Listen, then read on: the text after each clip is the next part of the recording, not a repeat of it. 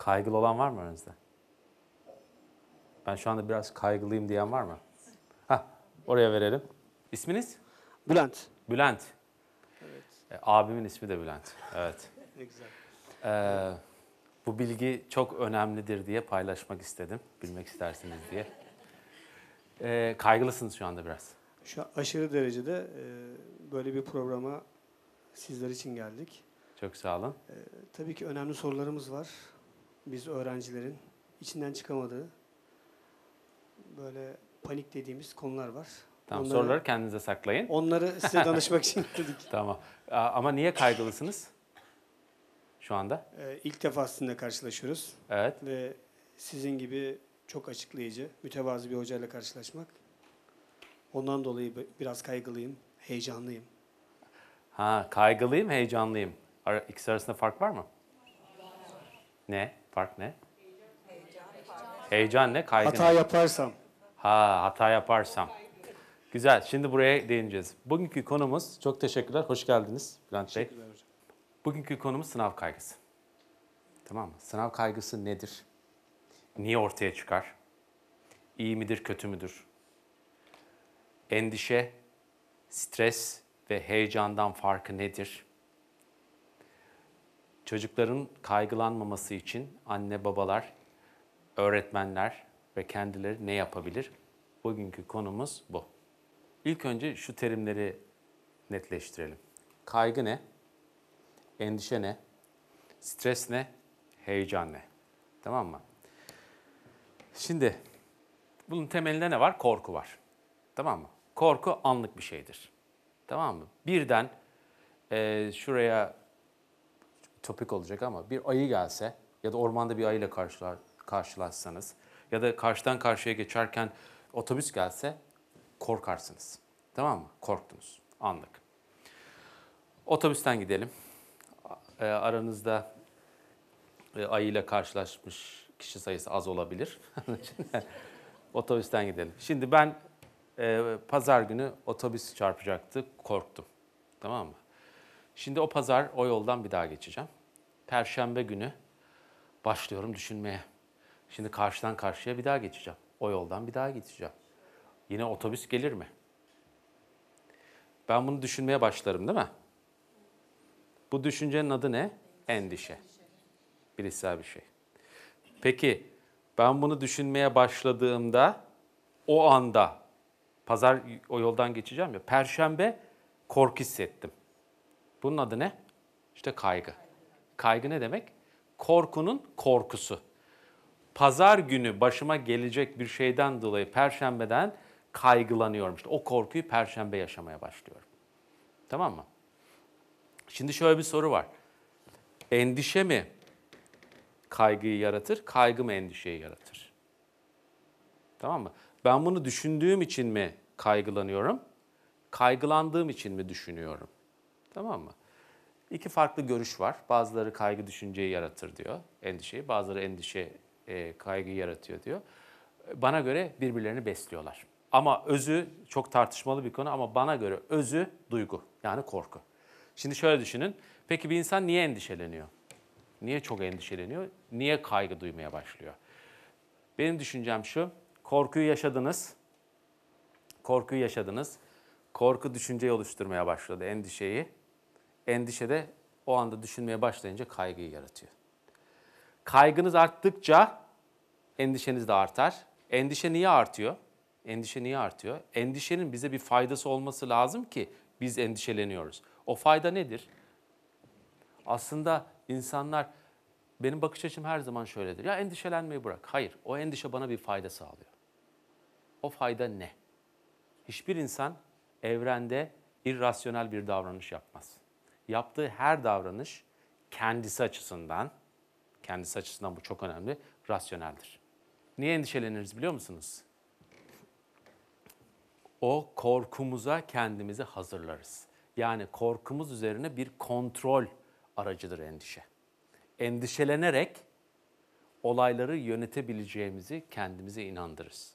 Endişe aslında bize evrimsel olarak bir fayda sağlıyor. Peki heyecan ne? Heyecanla korku arasındaki fark ne? Heyecanın özünde de korku var Ama heyecanda şöyle bir şey var. Heyecan kişi o korkuyu yönetebileceğini düşünüyor. Ve ikisinde de korkunun hormonu ne? Hangi hormon çıkıyor? Kaygılı insanlarda hangi hormon? Kortizol çıkıyor. İkisinde de kortizol var ama heyecanda şöyle bir şey var. Ben bunu yönetebilirim inancı var. Buna da heyecan diyoruz. Sınav kaygısı ne o zaman? Sınav kaygısı ne? Ben 2 Haziran'da sınava gireceğim. Bu olabilir. Ben Perşembe günü matematik sınavına gireceğim. Bu olabilir. Salıdan kaygılanmaya başlıyorum. Kişi için sınavın sonucu ne kadar daha çok önemliyse kaygı da o kadar artıyor. Ve bizim çocuklarda ben gözlemliyorum çok kaygı düzeyi çok çok çok yüksek. Ee, bir çocuk neden kaygılanır bunu konuşacağız. Ama ondan önce terimleri anlatabildim değil mi? Tamam. Siz soru soracaksınız. Çocuklarda kaygı endişe yaratır mı? Tabii çocuk kaygılandıkça, kaygılandıkça onunla baş edebilmek için zihninde e, düşünceler yaratmaya başlıyor. Çocuğun aslında e, baş etme mekanizması. Stres şu demek, stres sizden bir talep var. Sizin o talebi karşılayacak kaynaklarınız yok. Nasıl? Evinize misafirler gelecek, 10 kişi gelecek, sizde 6 kişilik yemek var. Ne oldu? Karşılayamadınız, strese girersiniz. N- Nasıl çözersiniz? Stresi çözmek kaygıyı çözmekten daha kolaydır. Streste şöyle bir şey vardır. 4 kişiye dersiniz ki gelme. Ya da 4 kişiye dersiniz ki ya yarım porsiyon versem mi?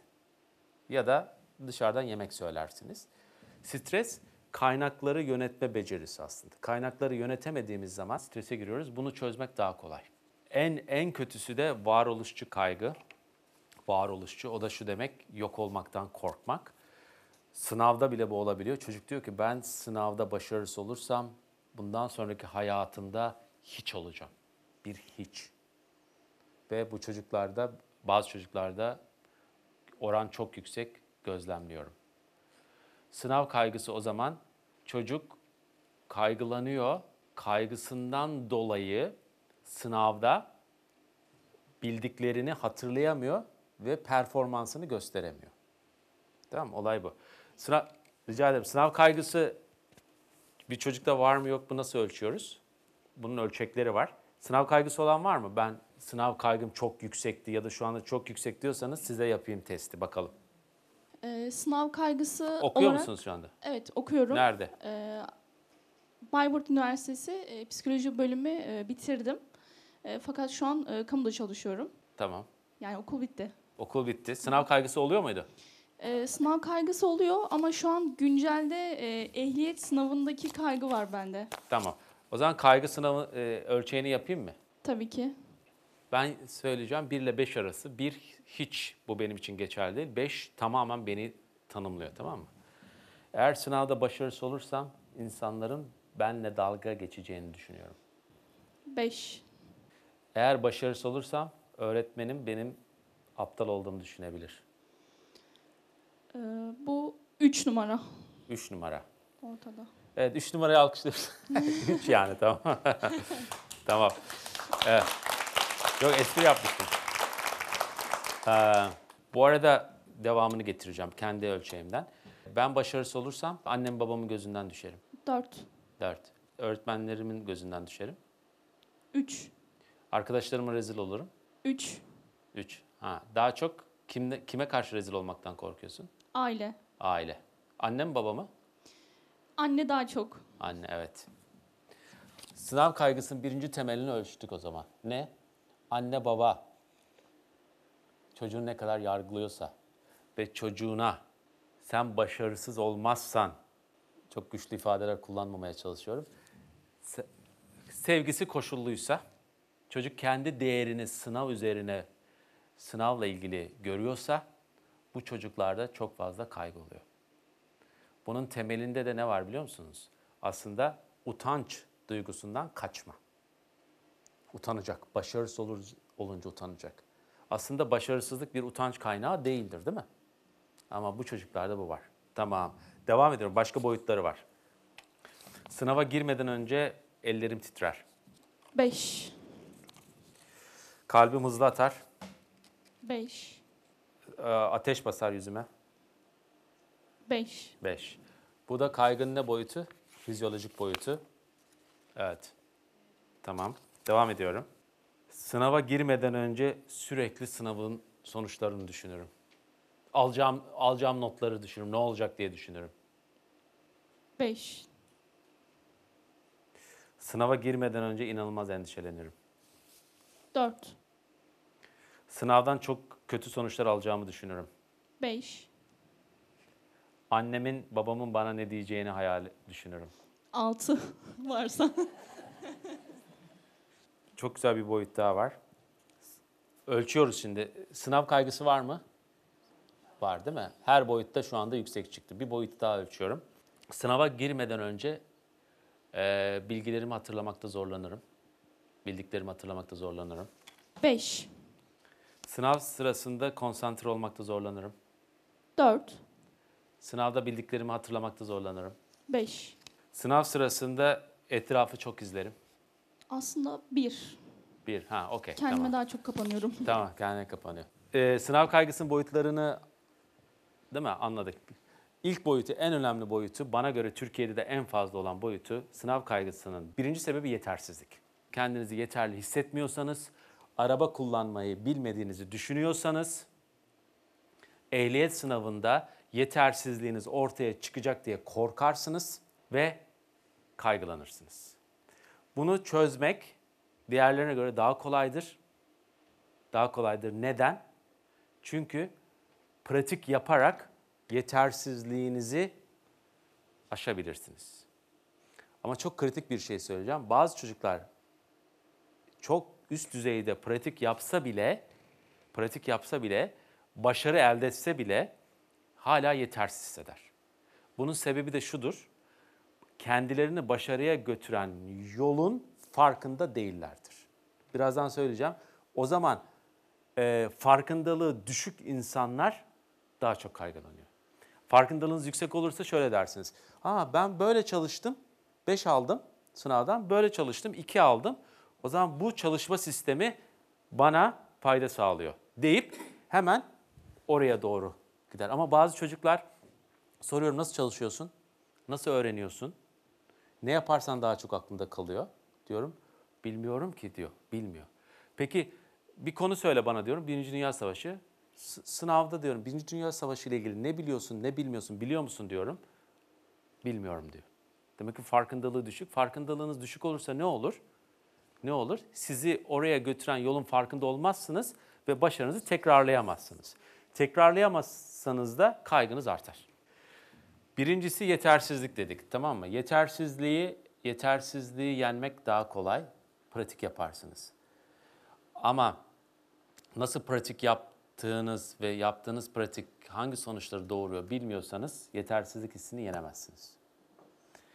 Ve kaygının üstüne e, ve zamanınız yoksa mesela biliyorsunuz nasıl yetersizliğinizi yeneceğinizi biliyorsunuz ama zamanınız yok, kaynaklarınız yok. O zaman üzerine bir de stres eklenir. Tamam mı? Sınav kaygısının birinci sebebi yetersizliktir. Türkiye'de bu oran azdır. İkinci sebep daha çok. Sosyal medyada gördüm. Ee, Kobe Bryant'a soruyorlar. İşte endişelenir misin, kaygılanır mısın? Diyor ki hayır. Niye? Çünkü bir tane atış yapıyor ya. Ben bu atışın aynısını zaten antrenmanda 100 bin defa yaptım. Zaten yaptım. Tamam mı? Ve o zaman yetersizlikten gelen kaygıyı yenmenin yolu farkındalı bir şekilde pratik yapmak. Soru mu? Evet. Hocam merhabalar. Merhaba. Ee, sınav sonuçlarının çocuklara, e, notlarına daha doğrusu etkisi nedir? bu Kaygılı konuda? olanlar? Kaygılı olanlar. Bu konuda çok güzel araştırmalar var, meta analizler var. Ee, çocukların kaygı boyutlarını ölçüyorlar, sınav sonuçlarını ve aşağı yukarı yüzden fazla araştırmayı inceliyorlar. Tek araştırma değil.